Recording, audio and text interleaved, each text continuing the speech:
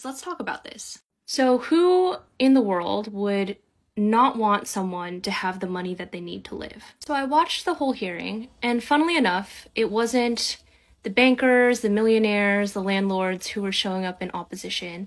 It was a bunch of ordinary people. And it made me realize why would the billionaires and the landlords show up to oppose something like guaranteed income if they could just have us do the work for them? Like, they have these people so convinced that other poor people are the enemy and not the people who are actually causing them to not be able to afford what they need in life. Here's just one example of opposition testimony. You know, it's kind of ironic because I probably could benefit from the bill in a personal capacity because I make under 200% of the poverty level and I'm on SSI, I'm disabled. But also understand that there's no such thing as a free lunch. And it's so frustrating seeing people advocate against themselves because it's like, sis, you're on the wrong side. You were almost there. You were almost there.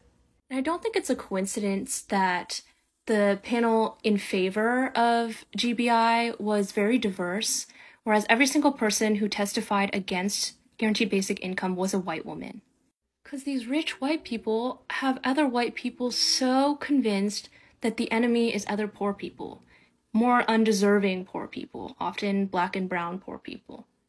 And I just really want to tell this lady, like, there is such a thing as a free lunch. It's why we're in this hearing right now.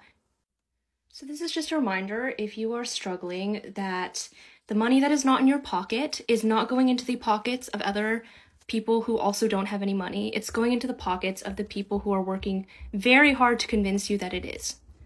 So, if you live in Washington state, let's support things like a guaranteed basic income, things like the wealth tax as they're making their way through our state legislature this year.